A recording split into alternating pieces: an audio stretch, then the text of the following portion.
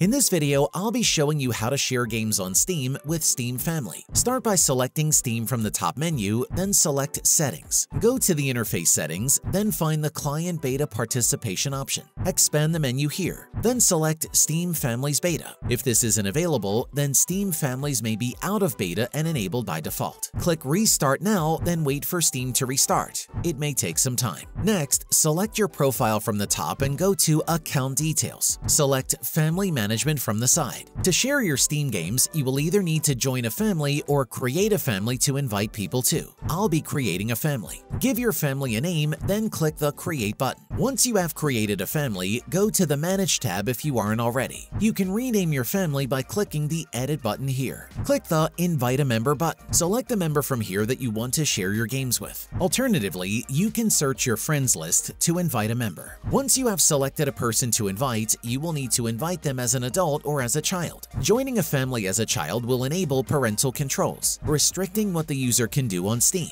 To ensure there are no account restrictions, I'll be selecting Invite as adult. Click Invite to send the invite. The person that was invited will need to accept the family invite. To do so, they must also have the family beta enabled and be in the same household. Select the profile on the invited account, then select Account Details. Select Family Management from the side. The Join Family option will now have a pending invite. Select Join Family. Head down and click the Accept button. Click the Confirm button and a confirmation email will be sent to the email link to account. You will need to click the Join Family button in the email to confirm. Click Close once confirmed. Additionally, it's important to know that you must wait a year to join another family after initially joining this one. Head to the Library tab to see all the games eligible to be shared, while excluded games are shown just below. Some games will have a number at the bottom. This is how many copies of the game the families have. This is how many family members can play that game at any given time.